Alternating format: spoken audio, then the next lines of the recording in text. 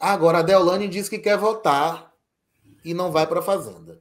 E realmente, o pessoal da Fazenda, a Record não leva para votar, fica realmente confinado lá em Tapecerica, não rola. Você acha que a Record jogou um, um negócio para a gente achar, olha, Deolane, vamos olhar. Que é a cara da Record isso. E aí quando você chega na apresentação, é a irmã da Deolane. É um genérico. Veja, eu, eu, eu acho sim que a Deolane foi meio que para gerar um buzz, né? Para gerar uma coisa em volta do programa, porque assim, a mulher tem dinheiro, gente. A doutora tá estourada. Será que ela vai precisar aguentar três meses lá trabalhando para poder ganhar um milhão e pouquinho?